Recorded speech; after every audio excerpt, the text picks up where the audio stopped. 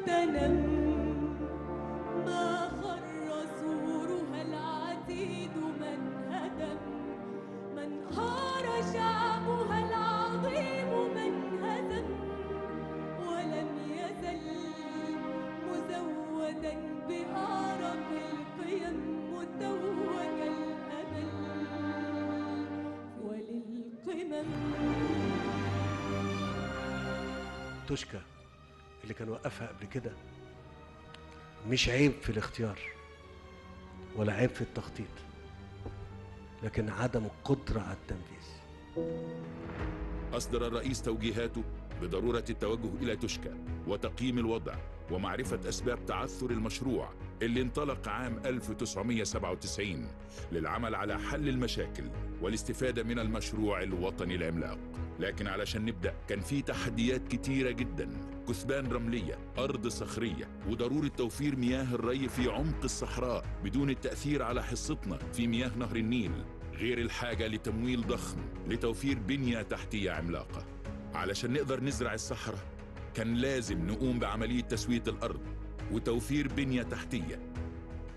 وإنشاء محطات كهرباء وتجهيز محطات لضخ المياه إلى أجهزة الري المحوري. واللي تعد من أفضل وأحدث طرق الري المميكن. وبتساعد على التوفير في استهلاك المياه. ولأن مفيش في القاموس المصري كلمة مستحيل.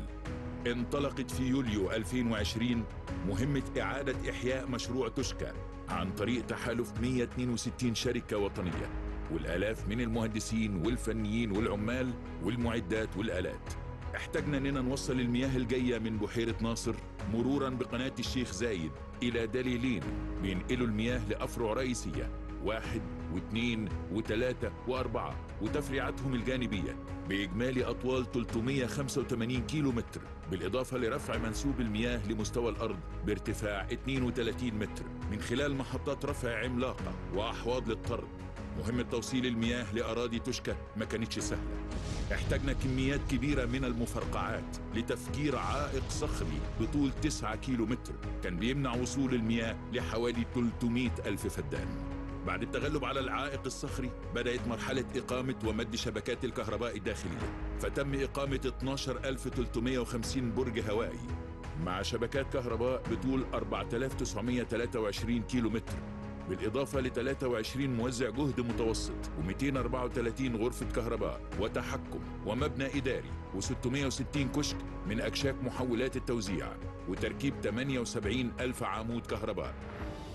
مع تنفيذ طرق خدمية ومدقات لأجهزة الري المحوري بإجمالي أطوال 2933 كيلو متر كمان تم تنفيذ تفريعات إضافية بمساحة تزيد عن 22500 كيلو متر مربع. بإجمالي طول 173 كيلو متر وبلغت كميات الحفر 51 مليون متر مكعب وكميات التبطين 780 ألف متر مربع. فضلا عن إقامة محطتين مياه رئيسيتين بتصرف 8 مليون متر مكعب في اليوم و231 محطة لضخ المية و1028 طلمبة ري ومن كل فرع ودليل بتخرج شبكات الري بإجمالي 2755 كيلو متر و605 محبس هواء. و3720 غرفة تفتيش بالمحابس و1248 جهاز ري محوري.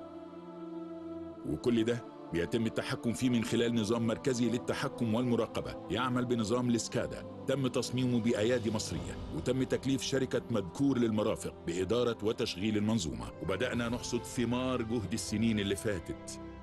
آلاف الأفدنة المزروعة بالقمح والنخيل ومحاصيل تانية للاستهلاك المحلي والتصدير. زرعنا مليون ونص مليون نخلة و300 ألف فدان قمح ومستهدف زراعة 2.3 من عشرة مليون نخلة و650 ألف فدان قمح لحصاد مليون طن قمح بنهاية شتاء 2023-2024 وبكده بتواصل مصر مشوارها لتحقيق الاكتفاء الذاتي وسد الفجوة الغذائية. تحول مشروع تشكى من حلم غير مكتمل لحقيقة قائمة على أرض الواقع. ولسه مكملين لتنفيذ وعد الرئيس بزراعة 3 مليون فدان علشان نحول الصحراء للجنة الخضراء اللي هتعود على كل المصريين بالخير.